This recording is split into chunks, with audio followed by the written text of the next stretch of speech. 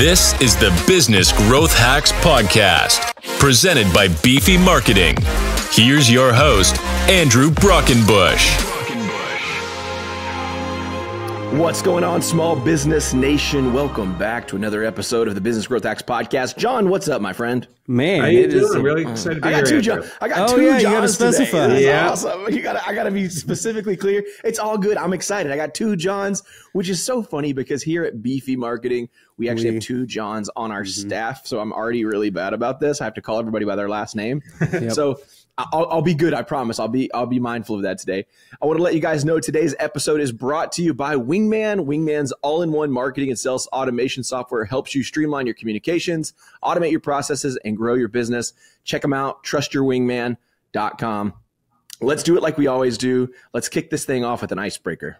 Let's kick it. Ice, icebreaker. All right, Jon Morris, this one is for you, sir. What is the most interesting or unusual talent or skill you have that not many people know about?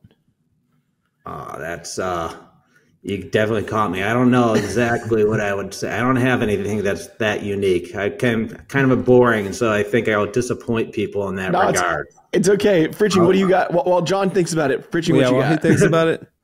You know, I guess it's not really unusual because everybody has to do it to live, but I can actually cook. Like, like, like hot dogs cook or like you can nah, cook, cook? like like I can get in the kitchen and make some some meals. you can get down and cook some I, meals. I can make the So- sides and the barbecue. Nice. I'll, I'll tell you something interesting about me in a previous life. But uh, I used to do tons of triathlons and marathons, and in one summer I did six triathlons and two marathons. All right. Uh, You thought you were that you thought, you thought you were going to disappoint. That is No. that is not a disappointment at all. Like I Yeah. no, that's that's one awesome. of one of our old clients is a, a guy that many people know about, David Goggins, and uh, Goggins is one of those guys that just like whenever I, I used to spend some time on the road with him whenever we were on this event called Patriot Tour together, and when we were on the road, I'd come down six o'clock, seven o'clock in the morning to the hotel lobby, and he's like standing there in what looks like somebody poured like a mop bucket of water on the floor. It was like, dude, like. What is that? And he's like, oh, yeah, I just finished a 22, 23, 26 mile run. And you're just like, what is wrong with you, bro? Like, Yeah. like he is all that y- that you see online. It is a, a real life version. I will say, whenever I spent time with him, I was skinnier because I was highly motivated to, to be a better version run. of myself. So maybe I need to call him up and tell him he needs to spend a year with me or something like that, so I can get back after it. But uh, uh, most interesting thing for me, I think that I don't. I'm going to go with this just because I think it's a little weird. Whenever I was a kid, I had one of those karaoke machines, and I thought that I was an auctioneer because I would go with my dad to the cattle auctions every single week. And so I uh-huh. just thought it was so fascinating. And so as I got older, I actually talked to a, an, another auctioneer. I was probably like 14 or 15, and he told me, hey, you know, to be an auctioneer, you have to have a filler word. And his filler word was bidadum, bidadum, bidadum, bidadum, bidadum, bidadum. Well, I uh-huh. was like, okay, like that's super helpful. Like I can do that. And so I came up with my own filler word, which is mana now, mana now, mana now, mana now, mana a quarter now, mana now, seven and a quarter now, mana now, eight now, a quarter now, mana now, mana now, nine. And so I I kind of created this idea that I could be an auctioneer. And so uh, that is probably a little hidden talent I have. I am not a professional auctioneer by any means.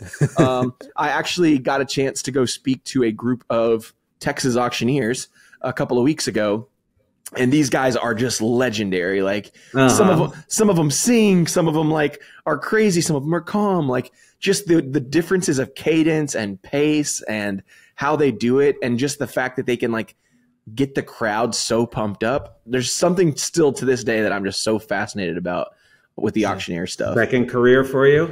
I know. I mean, I guess whenever the agency stuff doesn't work out, I guess I'll just go be a cattle auctioneer or something. I don't. I don't know. You know, Andrew, I'd never heard you actually do that before. I've heard you talk about it, but I've never actually heard you do it. You Like, actually do some auctioneer talent there. Thanks, man. Yeah, it's pretty it's pretty crazy. But uh, hey, well, we've got a great guest lined up for you guys. Right. Jon Morris. At the age of 30, Jon Morris started a digital marketing agency called Rise Interactive. When Jon sold Rise 16 years, years later, it was one of the largest independent digital agencies in the world. Jon's framework for growth is the foundation of this episode and is applicable across a variety of verticals to help business owners scale their companies. Jon, thanks again, man, for being on the show today. Really, really excited to be here. Thank you both Yeah. for having me. Yeah, so obviously we're a marketing agency, so like this is going to be a really fun and easy conversation because selfishly, I hope to learn from you. I hope that you can school me and teach me a few things. Uh, and secondarily, like I think that there's a realization that I had probably a year ago, which was the idea that even small businesses like ours, we're a team of six, um, we're you know I don't know seven hundred and fifty thousand dollars annual recurring revenue. Like that's kind of where we're at. We're not a massive agency. We're not a tiny agency, um, but we never realized the importance of a budget. Never in the last ten years that I think there was a need for us to create a budget. Um, Yeah. I was budget budget mindful. Like I knew where I was spending money and I, I whatever, but I wasn't actually setting aside funds for different things. It was actually kind of this really crappy situation where last year we had to buy like four or five new laptops because everyone's laptops on the teams were just like ready to Yeah. like, go out. And I was like, holy crap, we just dropped like 15 grand in new computers. And I didn't have money set aside for that. This is like money we're just pulling out of thin air essentially. And so um, I finally sat down last year and said, "Oh, we have to have a budget. Like, why? Obviously, like, duh. But like, I just didn't understand the value. So I'm really excited to have this conversation with you. Why don't we take it back though? Can you can you start by kind of sharing your journey from scaling your agency from 12k to 35 million? I mean, that's a that's quite the feat. Yep. So uh, I went to University of Chicago for business school. I entered an annual business plan competition called the New Venture Challenge. I won ten thousand dollars, which was my seed money to start Rise, uh, and started working out of my home. Uh, and then basically going back to my whole running philosophy, my business was based off of a running philosophy. So as I said, I used to do marathons. Marathon training takes 18 weeks. Mm-hmm. And your first long run is six miles. Your last long run is 26.2 miles. And I started to have the mindset, you know what? I'm going to create a business and I don't worry about the exit. My exit strategy was I was going to die one day. And I basically said, you know, rather than weeks, I'm going to think of it as years. And rather than miles, I'm going to think about it as dollars. And so the idea was if I'm going to do $12,000 in my first year, which is what I did, well, my second year, I just want to do more. In my third year, I just want to do more. So it's a very incremental approach to the business. And it goes back to this idea of budgeting. It's, you know, it's actually a perfect time to talk about it. It's July 7th at this moment. I realize this will release at a different date. Um, and I would start thinking about next year right around now. And I'll be thinking about what do I want to do in sales and what investments do I need to make to make that happen. And so every year I would make investments to make it so that the following year would be a better year. And so I took this incremental approach and I went from 12 million to 80,000 or 12,000 to 80,000 to 350 to 750 to 1.1 to 1.1. That's my asterisk year, 2009. And then I went on a tear 2 million, 4 million, 8 million, and it just kept on going uh, every single year. Uh, we had double or triple digit growth. Um, and so a lot of it had to do with the investments we made, the strategic decisions. And don't get me wrong, I can I can give you plenty of mistakes we made along the way, but we learned from those mistakes. We learned from our losses. Um, so to me, I think it was a couple things: having a long mindset, and a growth mindset as well. Um, as you said, you were hoping to learn something today.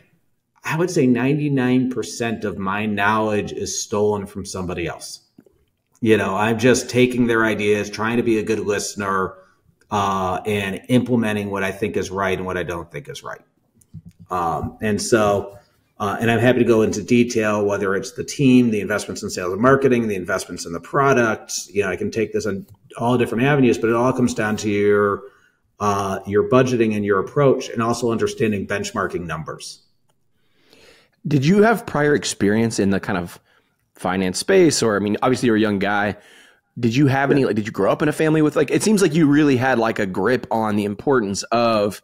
I mean, obviously the running component, but like these benchmarks and these metrics and these goal setting, that honestly are things that shit. I'm I've been doing this since 2013. I'm just figuring out in the last three or four years, and I'm just like, Yeah. and I know it because I do it in my personal life and my personal budget.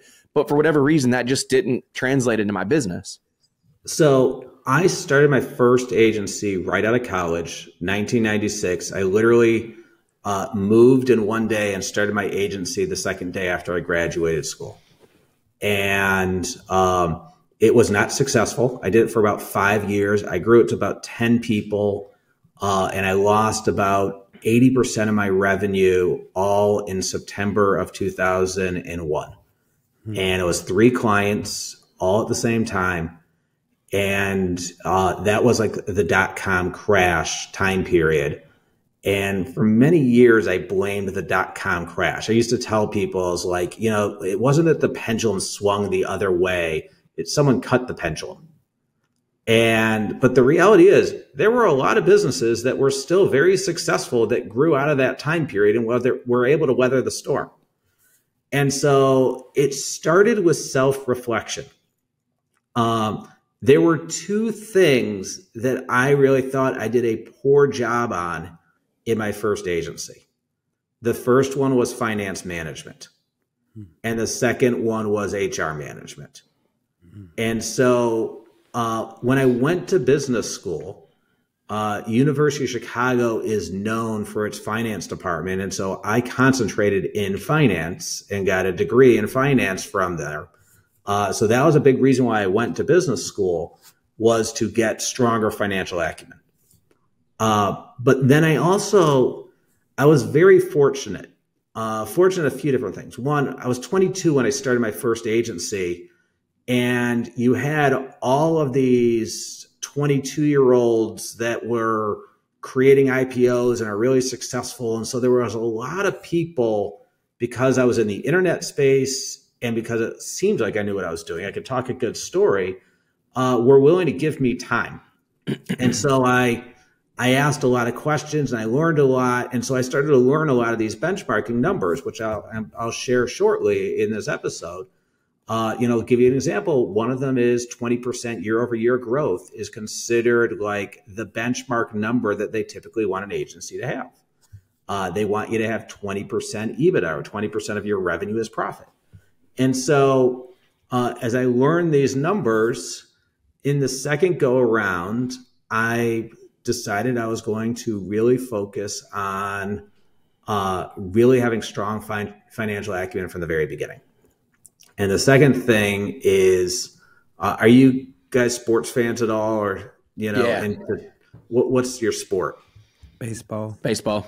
Baseball. Okay, so if you think about it, you have nine starters, mm-hmm. right? And how many times have you talked about, you know, I'm guessing the Houston Astros are your team? Yep. You know, how many times you're like, why is that guy still pitching? Or why is that guy in first base? Like, you know, and you think about the amount of time and energy a professional sports team puts into selecting one of their players. Hmm. Uh, I put the same time and energy and, and made a really strong decision that my first 10 people are going to be superstars.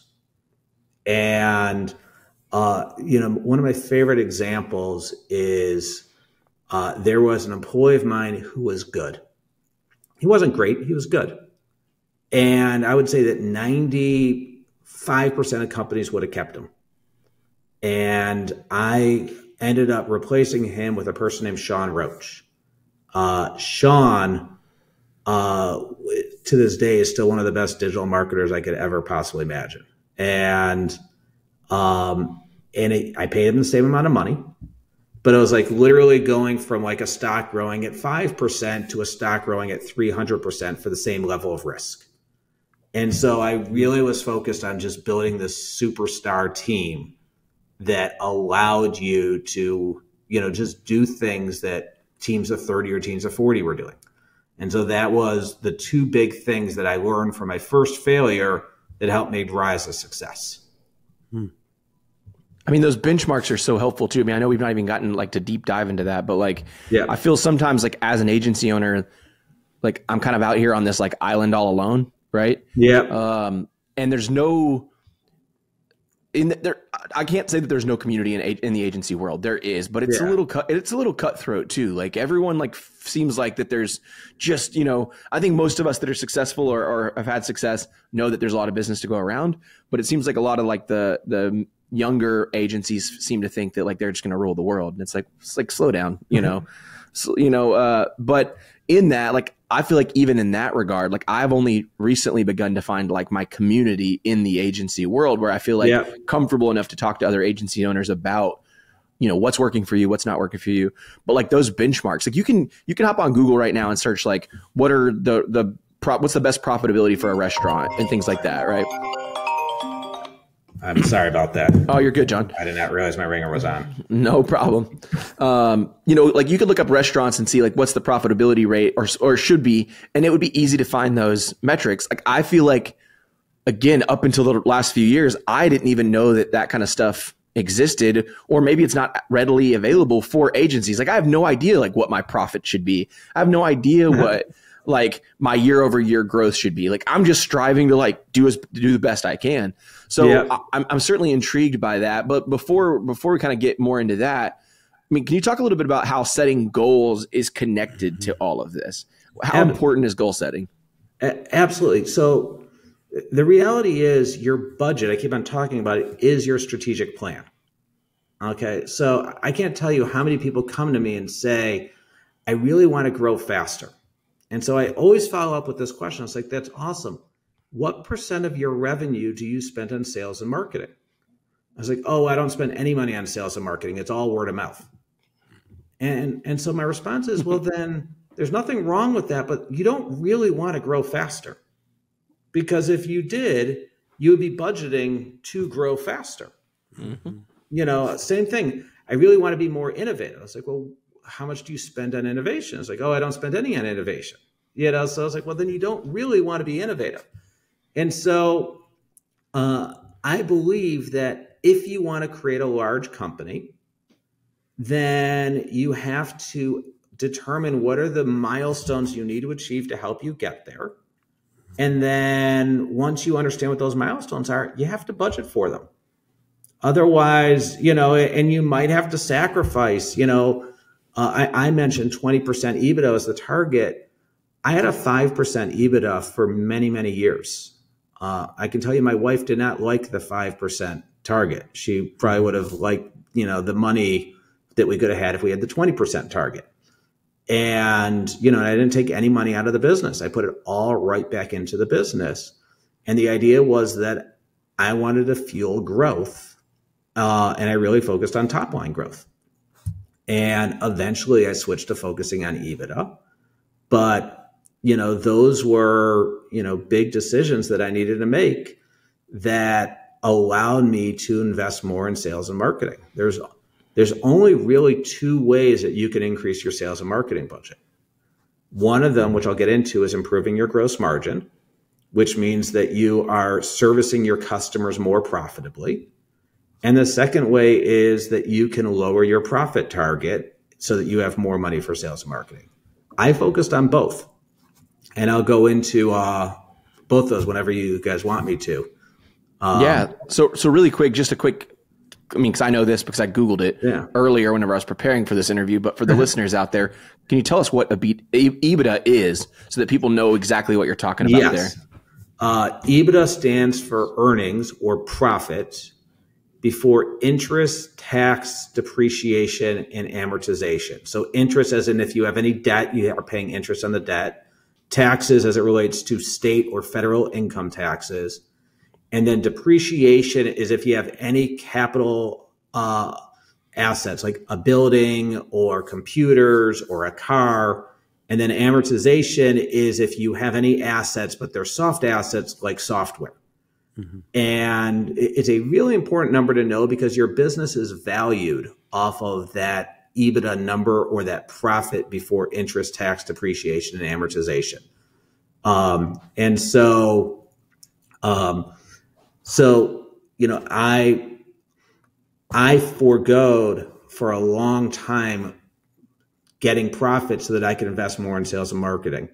Um, and then the other number I really want you to know this is honestly the most important number an agency owner should know. is their gross margin.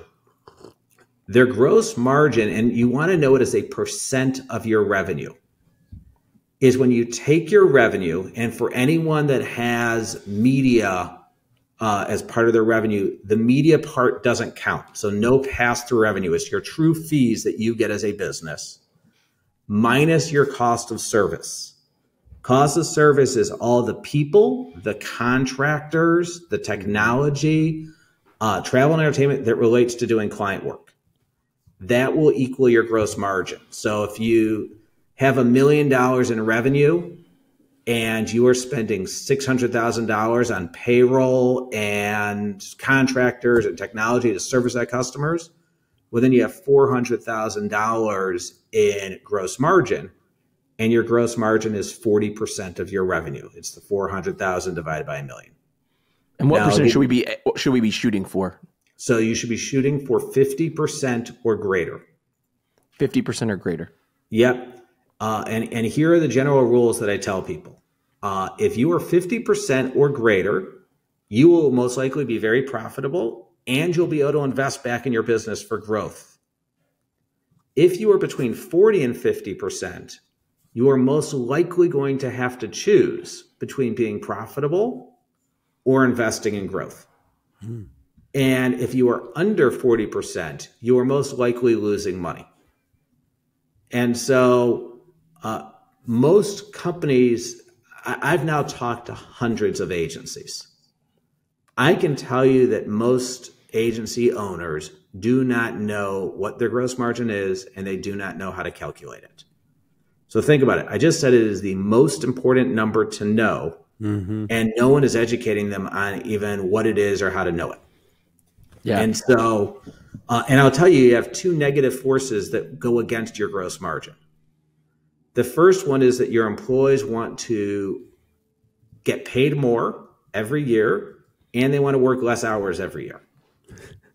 The second truth is that your clients want to pay you less every year, have you work more hours, and talk to more senior people and you're stuck as an agency right in the middle of having to service both these two constituents who are incredibly important to your business. And so figuring out ways to maintain a 50% gross margin with two negative forces working against you is hard. Okay, I explain to people if it was easy, everybody would be doing it. Um, the first thing is know what your gross margin is. Then you can start thinking about what are the different ways that can help you get to the right gross margin. This part, this part. All right, sorry, I'm like stressed out a little bit in a good way, but like this is the kind of things that these are the kind of conversations you have to have, right? Um, Yeah. I know, I don't know what my gross margin is. I know it's not fifty percent. Like I know with every fiber in my being, it's probably Yeah. closer to twenty percent, right? Hopefully, right? Which is not great. Uh, again, assuming that that's like minus like operation expenses minus you know payrolls salaries contractors right It- Yeah. operation operations come out of that as well for example No. like so there's okay, a next no. section called SG&A. okay Your SG&A stands for selling and general administrative expenses. okay So that is in four buckets. That should be 30% of your revenue. okay And that should be sales and marketing, operations and finance, which is like your finance department, HR, legal, general admin, and corporate IT. Okay. Your executive team, and uh, anything that you're doing in R and D, research and development. okay And so if you think about it, if you have a 50% gross margin and 30% for your SG&A, that gives you 20% for profits. got it And so the first thing you want to do, I'll just give you an example. Do you use QuickBooks? oh we do not we use FreshBooks which is an Same alternative but yeah same thing Yep. yeah Okay. You most likely, and most people listening to this who own an agency, most likely have one line item in your income statement that says payroll. Yep. And it's the entire company. And so the first thing you want to do is unbundle that and start moving everything around to the proper bucket. So you're going to want to be like, these employees do client work, and these employees do sales and marketing, and these employees are my executive team, and these employees are my operations and finance team. And that way you can start looking at how much you're spending in these different areas. And so, um, so that will start giving you the clarity that you need. So, like in the 30%, um, you want to spend about 8% of your revenue on sales and marketing. You want to spend 7% on your executive team. You want to spend 15% on operations and finance. And this, this I think you'll find really interesting. There are 120,000 agencies just in the United States. Of the companies I've benchmarked, which is a much, much smaller subset number, 77% of them spend zero on R&D. Hmm. And the reason why I bring that up is every single agency out there has thousands of competitors. Mm-hmm. And the vast majority of them are not spending on anything that's going to make them unique or different. Hmm. And so uh, we recommend generally around 5% of your revenue to spend on R&D.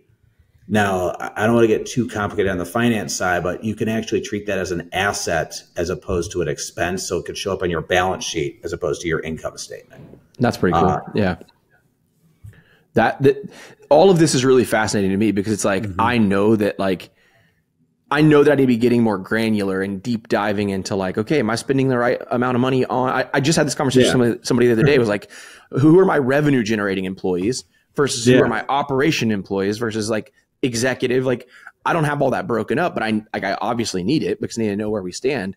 What about net profits? I mean, where like as a whole, net profits, where should an agency or just any business be aiming to kind of land? So EBITDA generally is the number that people benchmark after that. If, if you look at it, there's going to be a few different expenses that fall after EBITDA. So the next one is your depreciation and amortization. Generally, that's close to zero. Uh, most people don't have, you know, we're not a high asset type building, and as I just said, no one's investing in technology. That they're spending zero in R and D. Uh, there could be some ancillary like um, revenue called other income or ancillary expenses called other expenses, but generally that's close to zero after that. Uh, the next one is taxes and interest. And I generally tell people that you should target 35% of your profits to pay your silent partner, which is the state uh, and federal government. Yeah. And then if you have any debt, you should have interest as well. So if you think about it, uh, it should be about 35% less, or sorry, 65% of your EBITDA should be like what your net income is, like what you truly have at the bottom of the line. Now, it's actually it's interesting you brought that up because I literally am writing a blog post on it right this morning. But uh, uh, there's a lot of agency owners are an S corp or an LLC. And what that means is that their corporation actually doesn't pay taxes. The taxes flow to them as an individual. That's right. I still recommend that you budget for the expected taxes because you know what? You still got to pay them, whether it's through the business or through personally. You need that money set aside. So I generally recommend 35%. Uh, it is a high number. It is most likely you will not be paying 35%, but I would rather you set aside more cash to pay your taxes than be the other way around and be like, crap, I got to go figure out where I'm going to get this money to pay my taxes. Yeah, Yeah. I would second that because I've screwed up before and had a lovely uh, direct deposit that I had no control over that came out every month to get caught back up on that. Oh man, yeah. Yeah, that happened to me early on too in, in the agency where I I just didn't under like I genuinely didn't understand, nor did I spend the time trying to learn. Um, Yeah. The importance of taxes, and all of a sudden, I got that first like, oh, Beefy did really well this year, and we got that fifteen thousand dollar tax bill, which is my tax bill because I were an S corp, right? It wasn't Beefy. Yeah. It was An- Andrew Brockenbush. You owe fifteen thousand, or we're gonna like levy your bank account. And I was like, oh, okay, this is kind of scary. And um, fortunately, over the last few years, I've, I've really created a great relationship with the, uh, with an accounting firm, and like they've really helped me sort that out. But you're, you're exactly right. Like now, in addition to my like regular K1 distributions, my earnings, I'm taking another portion out and automatically putting it to a savings account specifically for the purpose of that end of the year tax, you know, estimated tax payments or whatever, right? So that's so important because I, I mean, Mhm. I was freaked out the first year I saw that bill. I was like, I don't have Yeah. fifteen thousand dollars. Like, like Beefy doesn't have fifteen thousand dollars. Where where's this invisible fifteen thousand dollars at? But it was like, well, you had it, buddy. You bought computers and you bought yourself a nice Yeah. truck, and yeah. you just weren't allocating the funds to where you know Yeah. where they were they were meant to be. So And they don't accept, oh, I didn't know as an answer either. Yeah, no, they are a silent partner. They are partners Yeah. with you. They didn't sign the paperwork, but you know, Yeah. I've never heard that term before, but I love and appreciate it. That is awesome. yeah, they don't add any much value either. So this next question is is jumping a little bit ahead, um, and I'll I'm kind of kind of go back and forth. ADHD through the roof, but I just think that this is like the right time to ask this question. But like in your experience, how can technology help in surfacing these hidden insights for for agency owners, for business owners? Um, because I feel like that's the biggest thing. A lot of times, like we just don't have awareness around it, or we don't Well, know what actually- metrics to be paying attention to. So That's actually why I started my company. So I haven't talked a little bit about what I do, but I have a technology company called Engine, and it is specifically designed for marketing agencies of all kinds to help them generate these insights. If you think about, there are only three insights every business or every agency owner needs uh, your revenue growth, your profit as a percent of revenue, and your cash relative to your monthly overhead. Those are the only three things that you need. Now, underneath them, let's just take revenue, for example. There are three components to growing your revenue there is new business, there is renewals of your existing business, and there are upsells. And so the idea is um, I'm trying to help agency owners gain the insights that they need so that they can make decisions as quickly as possible.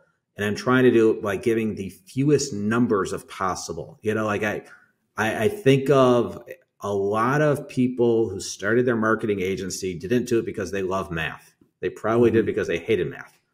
And so I'm trying to basically say, how can I help them make decisions in a much faster way? And so that's what Ramsay Innovations does is that we sell budgeting and forecasting software that's really focusing on business intelligence. It's those three insights we want to help business owners understand so that they can make decisions quickly. that is like so needed in our industry, right? Like I remember like there was this company, I can't even remember their name was, but I was using them like, I don't know, seven or eight years ago. And it was like, here's your recurring revenue and here's your predicted recurring revenue. And I was like, okay, that was like the first like taste of like some of that we got. I was like, oh, we actually have money coming next month. That's Yeah. good. That's Like- good. like what is what is our you know profit and loss statement look like? Am I making more money than I'm spending? I have no idea because I don't know how to look at QuickBooks, right? Yeah. uh, like that stuff was so important to me because I was like, I don't know like where we stand. I mean, I'm looking at bank accounts. And I'm just like, it's stressful. It's like it's not who I am. Like I'm a creative person, not an anal- like I'm not an overly analytical person. So w- when I obviously I came across your website, you know, I was like, oh, this is like there's a lot of data packed in here, you know, and I think that yeah. and I think there's other tools for different industries. Obviously, you've created an incredible tool for agency owners, but these tools exist, you know, I think for industries, like a variety of industries. Do you work outside of the agency space or primarily in the agency space? So, so my goal is to own the professional service space. okay. Uh, so if you think about lawyers, accountants, management consultants, et cetera, they all have the same benchmark numbers. They all have the same issues. Uh, you know, we're all figuring out when do we hire people, when do we not hire people to, you know, grow your business. I am starting with uh, just the marketing space for a couple of reasons. One, it's where I come from. And so I think it just gives a lot of credibility very quickly that because I had a successful agency that, um, you know, I, I build trust from a sales standpoint and from a delivery standpoint. Uh, but the second reason is anyone who becomes a client agrees to share the aggregated data for benchmarking purposes. And so the idea is that uh, as the product gets a little bit further down the road, you are going to be able to filter based on region, size of company, the type of agency you are, and see where you rank on revenue growth, on profit as a percent of revenue, and on cash relative to monthly overhead. And so we, from a a growth strategy are going to go after like once we have like the marketing communication industry well underway we'll then go to the second vertical and then the third vertical and we'll keep on expanding that way. Mm-hmm. that's really cool man. That that's that's really fascinating. I mean i think that there's a huge need for that. You know we just we just don't know what we don't know. Yeah. Yeah. Right. Like even like some of the small benchmarks you shared, like, I don't know if, if for the people that are watching the video, you can see me like keep turning around over here. So like I keep, keep like stuff. typing in Evernote over here, taking notes and stuff. Cause like uh-huh. this is so, this is so, this is so impactful for, for me and everyone else out there listening. Mm-hmm. I want to go back to the budget section because I think that like, as I think about our entire audience, the people that are listening to this show, I think that what you're saying specifically in that applies to all of us. Right. Um, yeah what would you say are the key steps involved in kind of starting that budget, creating it for the year? Because I think people would like to know what that process looks like. Maybe kind of highlight any important considerations that we should take. Because, like I said, it was my first time to ever do it yeah. at the beginning of this year, and it was like, I'm not an I'm not a I don't even know what the person's job is that does like you know, accounting like that where you're creating budget. I was like, how much do you think we're going to spend on computers? I don't know. How much are we going to spend on yeah. food? I, I, don't know. like yeah. I had no idea what to put down. So, I mean, it'd be really interesting to kind of hear what so, your thoughts are on that. So I always tell people to start with revenue. Revenue drives all decision making. And what you want to do is start with all of your existing clients. And you want to look at your revenue by month and by line of business. And this is generally the first thing that people, um, from what I've taught to a lot of people, start thinking of things in annual terms, like, oh, I'm going to do $100,000 with this client. I was like, no, I want you to break it up by month. And at mm-hmm. some point, there's going to be a renewal period. And so I want you to start asking yourself, will they renew or will they not renew? Now, we don't know what the future holds but we do have a good idea of where the relationship is now. Have I had them for multiple years? Did a new person just come on board? You know, are they happy? Are they not happy? And so I, I don't like doing like, you know, like I have a 50% probability that renew because the challenge is when they renew or they don't renew, the decision's binary. You either are getting a mm-hmm. zero or you're getting some number. Yeah. And so uh, I like people for every single client, for every single line of business to predict if they will renew or they will not renew. And then you next thing, which is harder, is to predict any upsells from those clients. Hmm. This will tell you how much revenue you're going to generate from your existing client base. I, I had a client of ours that did, you know, a pretty decent number. It was around $10 million last year. Wow. And they wanted to do 12 million this year. And when I put the analysis together for them, uh, I told them they were probably going to do nine or eight. They didn't really like that number. Like, but what? I explained that they had, you know, they had three seven figure accounts that, that were not renewing. And yeah. so it's not like they were starting the year out at 10, they were starting the year out at seven. Mm-hmm. And yeah, so, yeah, you're going to make up for that and grow. Right. Yeah, exactly. Yeah. So that gives you a good basis to look at. The next thing you want to look at is new business. Now, new business, I have a very specific definition of it. It is anyone that you win after the f- beginning of the new fiscal year. So if your fiscal year starts on January 1, if someone signs on December 31st of the previous year, they'll be an existing client. They won't be new. And if they sign in January 1, they will be a new client. And so once you understand that, you first thing you want to do is what I call your named pipeline. These are people that you are currently talking to and that you have some pulse of am I going to win them? Am I not going to win them? How much will it be? And when will they start? And the same thing, you do it by line of business and by month. Then you have to do the hardest part of your revenue projections, which is what I call blue sky, which is you know that you're going to win business. You know, today's July 7th. Beefy Marketing is going to win some new client between now and December 31st. You just don't know who it is. You don't know when you're going to win, win it. You don't know what line of business it's going to be for, but you got to project it. And so I generally recommend using your history as your guide. And so I typically win a new client a month. Well, most likely you're going to continue to win a new client a month. if you win a new client a quarter, you're most likely going to win a new client a quarter. And you generally have a good idea of what the average size is. You'll have an idea of what the line of business is. And so I use that as the starting point. Now, I've also seen a lot of people like, well, yeah, I just hired a salesperson, you know, so therefore I'm going to have this hockey stick in, in revenue. Um, generally, my recommendation is that a new salesperson, which by the way, you have a 50 50 chance of them being any good. Yeah. Um, is not going to provide any value until about six months in one sales cycle. You know, it's they're learning your business, they're getting up to speed, they're reaching out to all of their old contacts to let you know what they're doing. It's not like they're like, oh my God, I have 10 proposals out there already and they're ready to sign, you know, Yeah, exactly. on day one. And so it's very hard to immediately move the needle uh, on your new business. But once you have those two numbers, your existing revenue and your new revenue, you now know how much money you can spend. Okay, so let's just say that the number comes out to a million dollars. Well, I just gave you all the benchmark numbers. Now we have $500,000 that we can spend on servicing those customers. And you have $300,000 that you could spend on operating your business. And then you can break it up into the different components. Well, I know that of that 300,000, um, 8% of revenue goes to sales and marketing. So that is going to be $240,000. And so you can start putting in this is how much you should spend in each bucket. Then you can start looking at, you know, what am I actually spending in each one of these different buckets? And so Yeah. that's kind of the guide that I generally recommend people follow.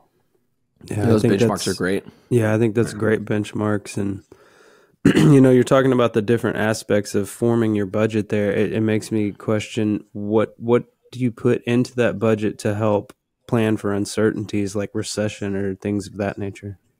So going back to the cash component, I, I recommended that uh, your cash is a multiple of your monthly overhead. On the low side, I want companies to have two times their monthly overhead. I can tell you, just like I told you that no one knows what their gross margin is, I would say with about 95% accuracy, um, agencies are uh, lower in cash than I would have liked them to be. Uh, I have a client of mine that is wildly profitable. Like they make a ton of money and there is no cash in the bank. Like the owners are just taking all the cash out. Oh. Um, and so um, I recommend two times monthly overhead as a minimum that you put into a savings account. And that, that does not go towards taxes. So I always recommend two bank accounts, an operating account. An operating account at a minimum should have one month's payroll plus 35% of your last three months profits. If you never go below that dollar amount, you will always have enough to pay your taxes, your bills, and your employees. And then in your savings account, if you have two times monthly overhead as a minimum, um, you will have enough for the rainy day, enough for the recession. But what you'll also have is money for that opportunity that just falls in your lap. Ooh, You know, it's like, oh my God, my number one competitor is in trouble right now and they're looking to sell and I have money and I can go buy them. Mhm. You know, um, the company that bought Rise had a great line and, and it's not overly brilliant when you, when you hear it at first, but I think it really is a brilliant line, which is you can do really cool things when you have a lot of cash Yep. and you know um and so I, I try to really teach people to focus a lot more on cash uh than i think they normally hear and Yeah. so you know uh, and I, I've had clients, you know, look, there's all sorts of interesting reasons why people have to take cash out of their business. And what I tell people is it's not a light switch. It's not like you're like, hey, I don't have enough cash in the bank. Um, and I'm expecting you tomorrow to just all of a sudden have it. It might take two years to build up the cash. But if we're building the cash up, you know, you're making progress and you're moving in the right direction. Mm-hmm. How important do you think it is for businesses to regularly review and update their budget throughout the year? It's actually a phenomenal question. So, Uh, I recommend that they do it quarterly, but they're literally in their budget weekly. Okay. So the first thing I recommend is that you create an annual budget that starts before the beginning of the fiscal year. So I would ideally want your original budget done by November 1st, but December 31st at the very latest if you're in a January 1 fiscal year. But then you are going to go through a quarterly reforecasting process. Mhm. And you're going to lock in your original budget and you're going to create a brand new document that is going to be your quarterly, your Q1 forecast, your Q2 forecast, your Q3 forecast, and your final forecast. And you're going to compare what you originally set out to do versus what each of these forecasts tell you to do. Uh, it's it's another big mistake that a lot of people make is they'll create a budget, but then they just keep on updating the budget and they never lock it in, and so they're never like really holding themselves to something.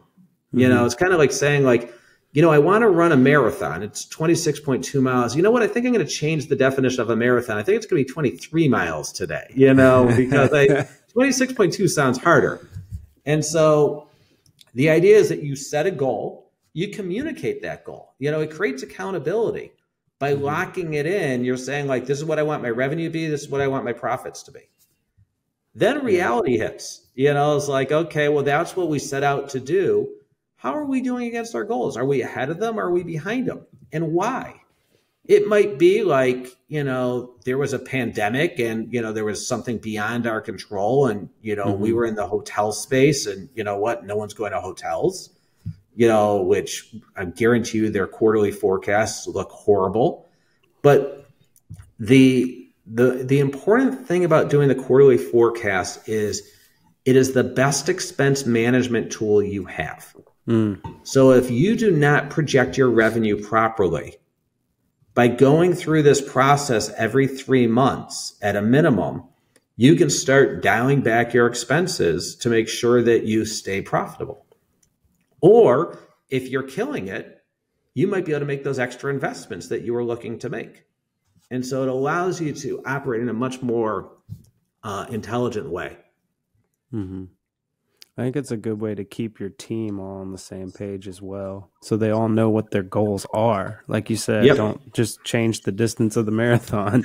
exactly. Uh, I'm like- and, and also, just one last, last thing. Mhm. If you communicate every quarter on like this was the original goals, these are the new goals, and you explain the why behind it, it might be bad news, but you know what? People would rather hear that. Like, we're all working with adults. Mhm. You know, people would rather hear the bad news, knowing it, or good news. But it, it's the why behind it, and it's what you're going to do about it. You know what?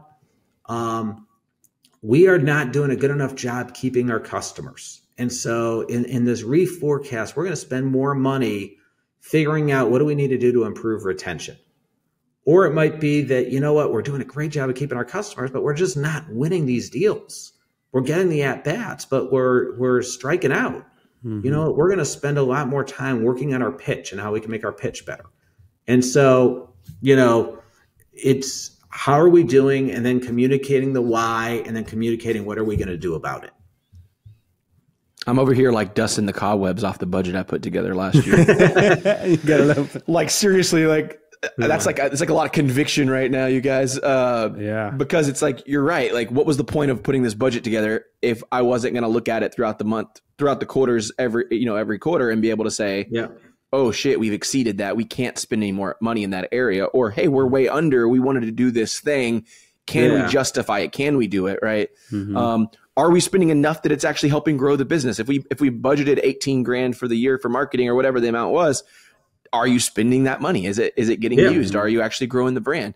So it's like really cool to kind of benchmark that. I'm like looking at my because I built it. It's just my spreadsheet is really simple. It's the category, the budget, our actual, and then the difference, right? Yeah. At the, at the end of the year, where I really should have had it say category budget Q1, Q2, Q3, Q4 actuals, actually so that I could, you know, you even want to do it monthly. So like you want to make sure that you're closing your books every month by the 15th of the next month.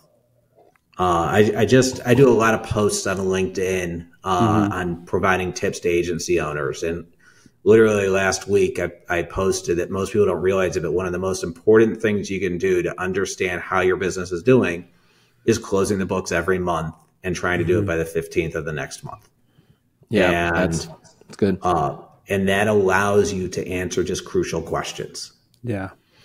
Yeah, this is this is so valuable. Well, I, Jon, I feel like we could do like a part two, part three, part four because this, is, yeah, this keep is, going. maybe you are one of the greatest guests we've ever had. Um, this is this is one of those conversations. I feel like there's just so much to unpack. I really have like 30 more questions over here, but I want to be mm-hmm. respectful mm-hmm. of your time. So I have to ask what I ask at the end of every episode. Yeah. Hacks. All right, Jon, if you could leave us with one business growth hack for business owners, agency owners, kind of at any journey, whether they're a startup, uh, just trying to get the thing off the ground, or if they're already uh, well into their journey, what advice would you leave for us? I'm leaving two pieces of advice. So the first one is your number one goal should be to never lose a customer due to performance. And mm. so, if you think most agencies, there's different types of agencies. There are project based or renewal based agencies. But if you are a renewal based agency, if you can hold on to your book of business and then get good at winning new business, your business is going to grow and you're going to have a phenomenal business. Yeah. Yep. The That's second great. one is the first 100 days of a contract is more important than the last 100 days of mm-hmm. a contract. And so really mapping out what does that first onboarding experience look like and how do you make it an amazing experience for them uh, will shape the entire relationship. Mm-hmm. I love that you shared that one because that's one of the ones we share a lot. That, that, yeah. that first that first ninety days, that first hundred yeah. days is so important. We've really, really at our agency tailored that experience from from the original calls that we have with the customer to make them feel part of the family to the box that they get in the mail that just makes them yeah. feel even more involved with a, a really nice like a beefy marketing coffee mug and some other really uh, some other really cool swag. swag. I mean, I get calls all the time. People are like, I, I got the box you sent. Like that was so thoughtful. That was so nice. And I was like, oh yeah, absolutely because yeah. other agencies aren't doing that. They're not thinking it's, about the fact that like you have to make a human connection. Mm-hmm. It's the mint on the pillow. Yeah. Oh, 100%. Yeah. It's that yeah. DoubleTree cookie, you know? Yeah. It is it's those it's those little things that go so much further. Jon, I really again appreciate all the value you brought. I seriously think that maybe we could have you back on the show if you'd yep. be happy to uh, come anytime. If you'd like to. And uh, I just think that there's so much value you have to offer our audience shoot, you have a lot to offer me. I'm really excited about maybe doing a demo of your software and seeing how that can help. Can you tell people how they can support you, follow you, find you, all that jazz? Absolutely. You can go to Ramsay, R A M S A Y, innovations.com to learn more about Engine and our software. You can follow me on LinkedIn. Uh, so, Jon Morris on LinkedIn. I post uh, almost every day. In fact, I actually just created a 90 day challenge myself to post every day uh, mm. some tip to help agency owners grow faster. Um, and my email is jon at ramsayinnovations.com. And I love connecting, communicating with other agency owners. That's awesome. Hey, thank you guys for checking out the episode today. If you liked it, share it with a friend. Make sure you subscribe. Leave us a review if you'd like on Apple oh, Podcasts oh, yeah. or any other platform you're listening.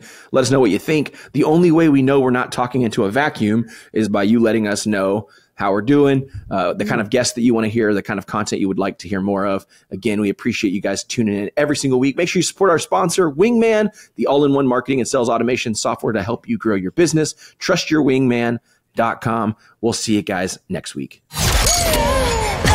Thank you for listening to another episode of the Business Growth Hacks Podcast. Be sure to subscribe wherever you get your podcasts so you never miss an episode. To get more marketing tips and tricks, follow Beefy Marketing on Facebook, Instagram, and YouTube at Beefy Marketing. And to take your business to the next level, check out our website at www.beefymarketing.com.